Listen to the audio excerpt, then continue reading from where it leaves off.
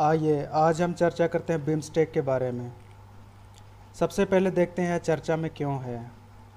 BIMSTEC ने हाल ही में अपना चौबीसवें वर्षगांठ मनाया है।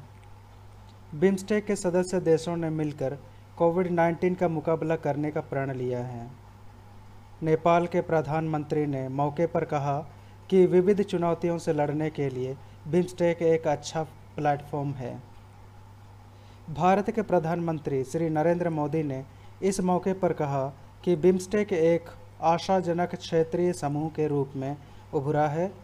इसने कनेक्टिविटी के लिए मास्टर प्लान को अंतिम रूप देने सहित कई मंचों पर प्रगति की है। गौरतलब है कि पिछले दो दशकों से अधिक समय में बिम्स्टेक के सिर्फ़ चार ही शिखर सम्मेलन हो पाए हैं। अगले शिखर सम्मेलन की मेज़बानी श्रीलंका के द्वारा की जानी है, परंतु कोविड 19 महामारी को देखते हुए अनिश्चितता बरकरार है।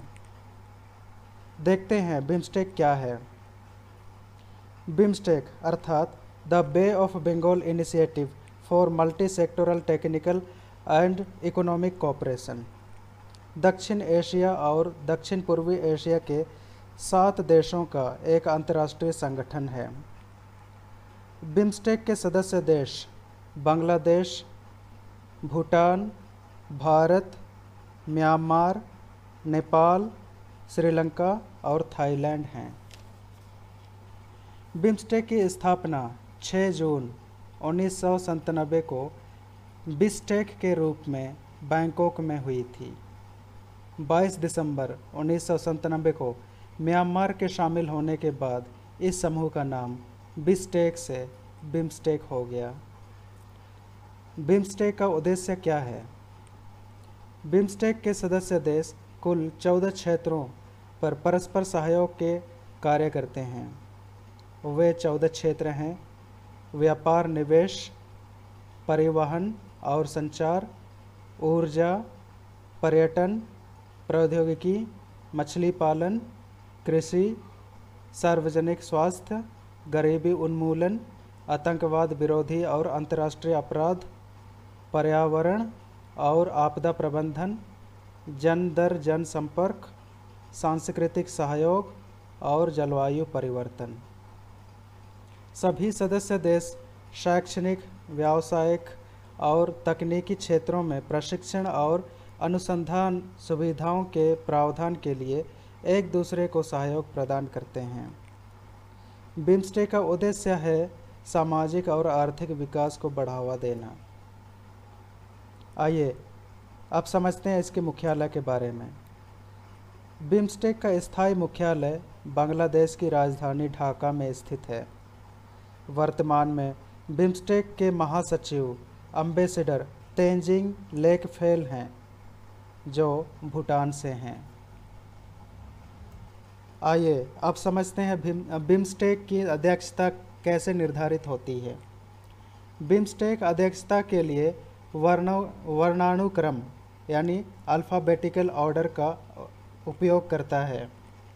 अर्थात बिम्स्टेक की अध्यक्षता उन्नीस सौ में बांग्लादेश से शुरू हुई।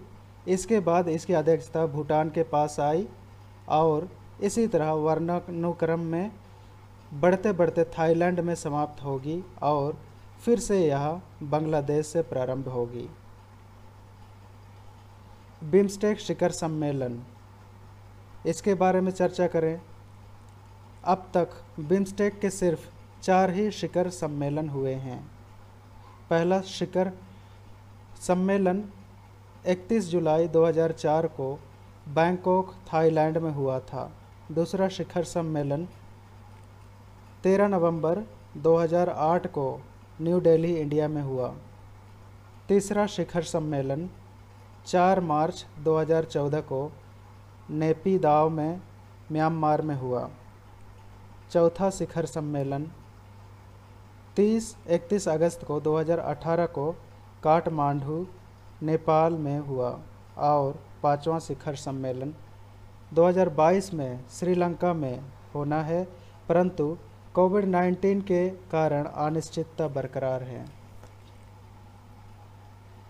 अगर बिम्स्टेक की उपलब्धियों की बात करें तो व्यापार को सहज और सुगम बनाने के उद्देश्य से बिम्स्टेक मुक्त व्यापार क्षेत्र फ्रेमवर्क समझौते, यानी बी एफ़ टाफा, पर सभी सदस्य देशों द्वारा हस्ताक्षर किए गए हैं। बाफ्टा बी एफ़ टाफा का उद्देश्य है सदस्य देशों के मध्य व्यापार और निवेश को प्रोत्साहित करना तथा बाह्य निवेश को आकर्षित करना। सात और आठ नवंबर 2019 को भारत के विशाखापट्टनम में पोर्ट शिखर सम्मेलन का पहला बिम्स्टेक कन्क्लेव आयोजित किया गया था। इस शिखर सम्मेलन का उद्देश्य समुद्री संपर्क को मज़बूत करने, बंदरगाह के नेतृत्व वाली कनेक्टिविटी पहल और सदस्य देशों के बीच सर्वोत्तम प्रथाओं को साझा करने के लिए मंच प्रदान करना है। आगे की राह क्या हो? पिछले दो दशकों से अधिक समय में बिम्स्टेक के सिर्फ़ चार शिखर सम्मेलन हुए हैं। जो एक निराशाजनक संकेत है।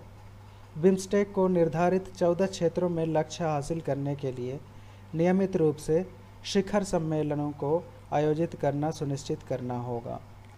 धन्यवाद।